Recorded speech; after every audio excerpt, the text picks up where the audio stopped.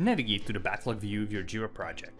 Here you may have issues already organized into future sprints that you will find in the top. You can export these by opening the three dot menu right next to the future sprint and selecting export Excel. But to export the issues down below, truly in the backlog that haven't been organized into future sprints, find the main three dot menu in the upper right corner. Select Export Excel and choose the export option you need, preferably Excel current fields. When your backlog export has been generated and downloaded, you can open it up. The issues from the backlog are exported and all their data types are correct. Dates are dates, numbers are numbers, and the template even uses native Excel formulas to calculate sum of story points or total number of issues exported. If you want, you can grab this template and modify to add more calculations and logic depending on your exact needs.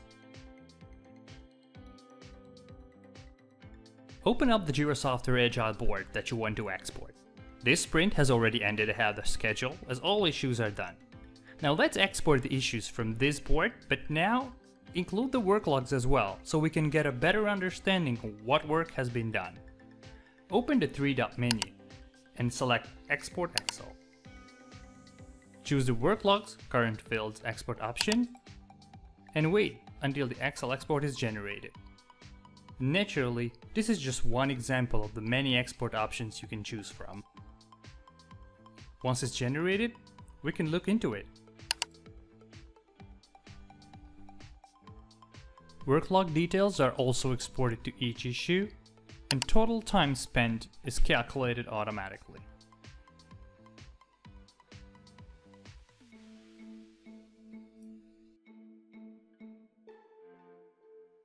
Finally, let's see how we can create a more complex Jira Software Excel report using issues in open and closed sprints.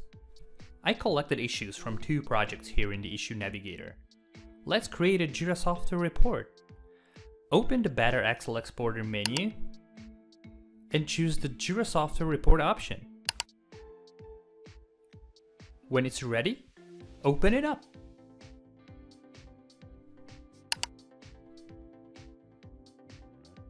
The Jira Software Report comes with pre-built pivot tables and charts, starting with analysis of story points per issue type.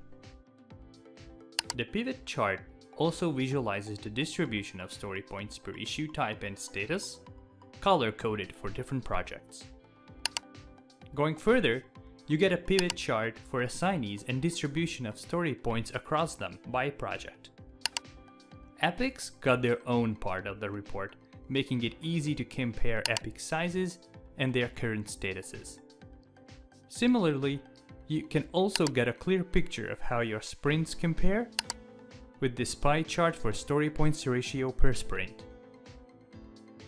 The last tab contains the source data, where all the pivot charts and tables are feeding their data from. And don't forget, this is a built-in report, so you get this ready-made with the app, no additional work needed. Watch the next tutorial and find the link in the description below to try Better Excel Exporter Cloud now for free. Don't miss upcoming Midori videos and app tutorials.